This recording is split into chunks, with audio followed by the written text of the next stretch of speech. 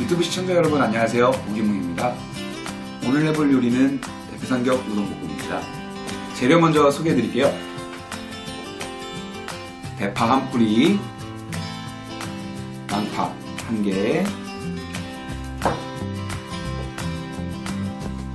통마늘 6쪽 계란은 보시면 4개가 들어있는데요. 2개만 사용할 겁니다. 계란 2개 그리고 시중에 파는 우동면인데요.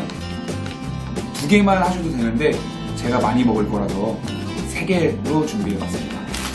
뭐 숙주 한 봉지. 대패 삼겹살은 500g 정도 준비를 해놨어요.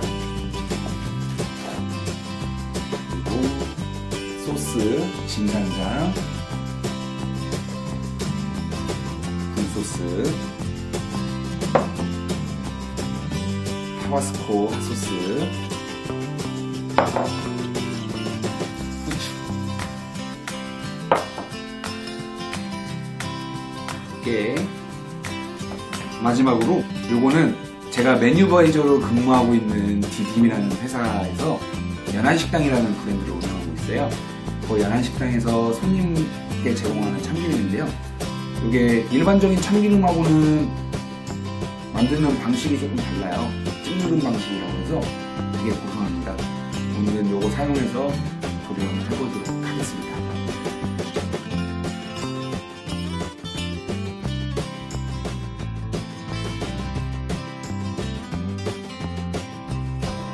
재료 손질 먼저 하겠습니다. 우선은 대파. 대파는 쫑쫑쫑쫑 다져주세요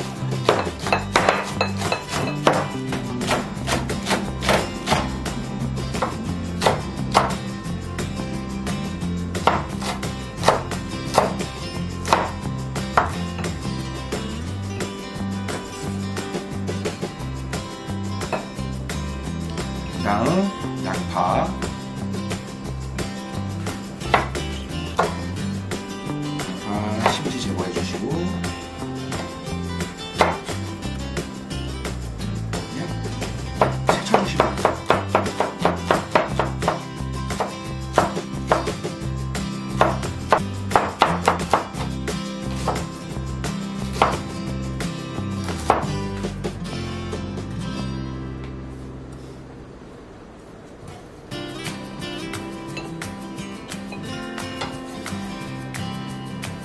마늘은 그냥 지지게 주세요.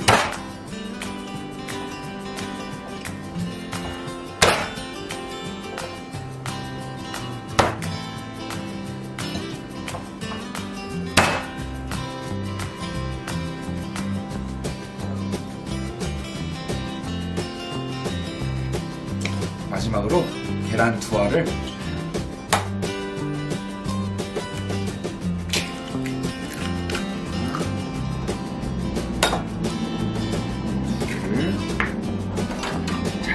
풀어주세요.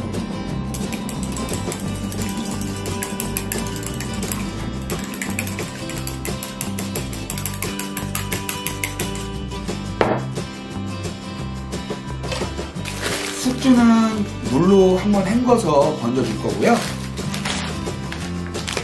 우동사리는 끓는 물에 한번 데쳐서 건져줄 겁니다.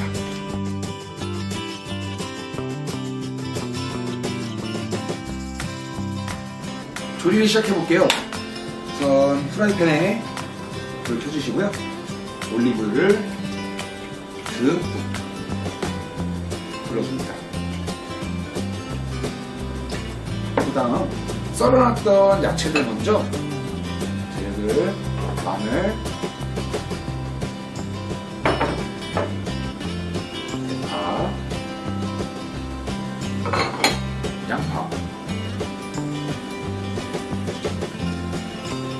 먼저 볶아줄게요. 이거 볶아주실 때는 양파가 투명해질 때까지 볶아주시면 됩니다.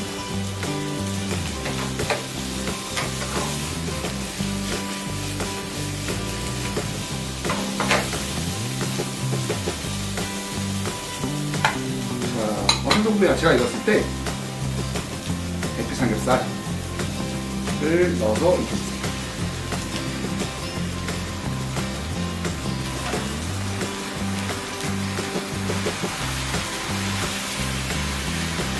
대패 삼겹살은 다 익을 때까지 계속 볶아주세요.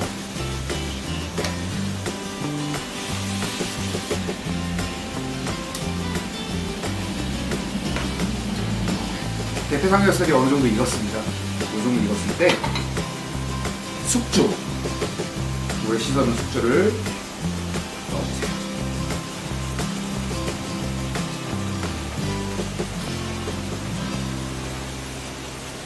숙주는 숨이 죽기 때문에 양이 많아 보여도 생각보다 얼마 양이 되지 않아요.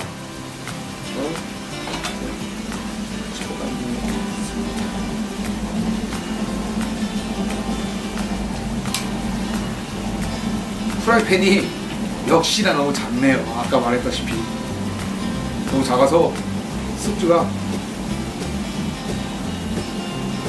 다 삐져 나오고 있어요. 숙주는 덜 익으면 숙주 특유의 비린 맛이 많이 나기 때문에 꼭 완전히 넣어주세요.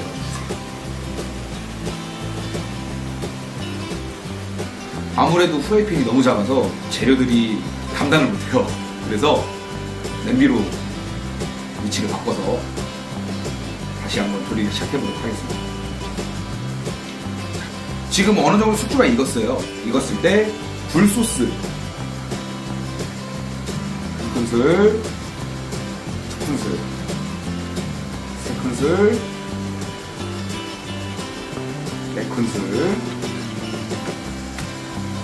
그리고 진간장. 한 큰술, 두 큰술, 세 큰술, 그다음 타바스코 소스.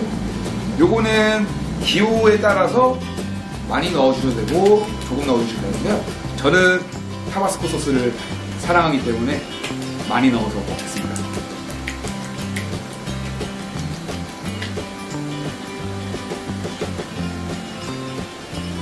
그리고 후추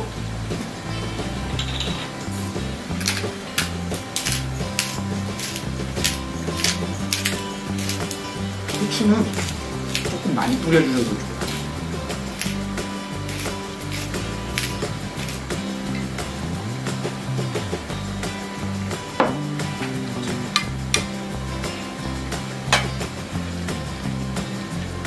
잘 한번 섞어주시고요.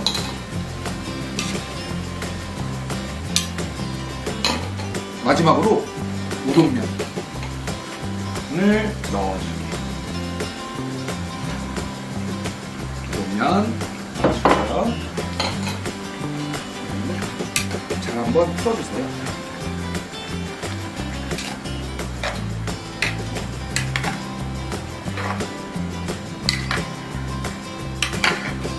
마지막으로 아까 풀어놨던 달걀 쭉 둘러주세요. 그리고 마지막 작업이니까 요 달걀을 풀고 한번 볶아주시면 돼요.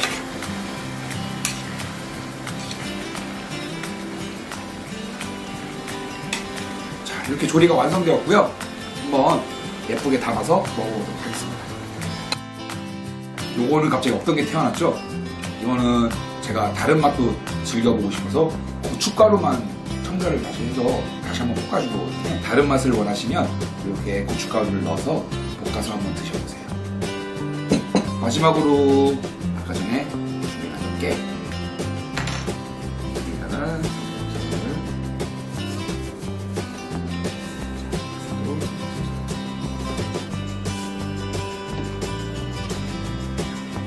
이렇게 해서 준비가 됐습니다.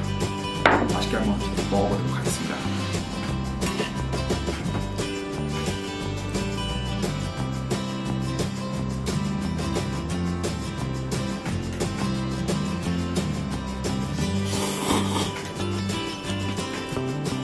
아까 제가 타바스코를 넣었잖아요. 타바스코가 이 맛의 진짜 핵심이에요. 이거하고 식기도 잘, 잘, 잘 볶아져서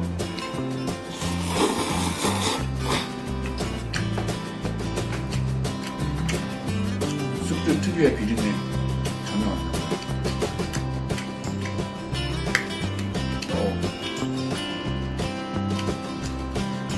그리고 계란을 넣어서 되게 뭔가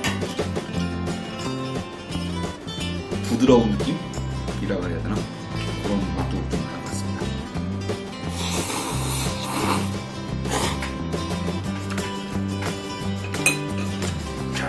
그 다음에 제가 아까 따로 만들었죠? 빨간색 고춧가루 넣은 거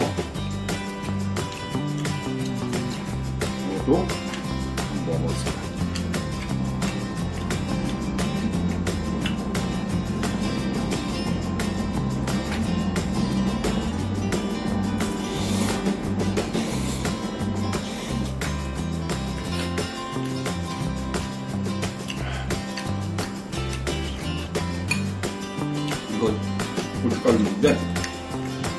다른 거안 넣고 고춧가루만 딱 넣거든요.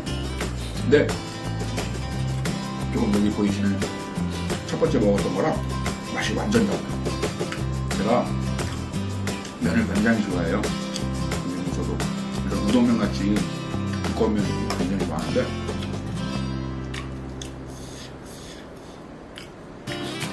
진짜 뭐 시중에서 팔 정도는 아닐 수도 있겠지만 제 입맛에는 합격입니다. 이렇게 해서 오늘 만든 음식을 다 먹어봤습니다. 오늘은 쿠키씨랑 같이 인사해볼게요. 다음 영상에 또 만나요. 안녕.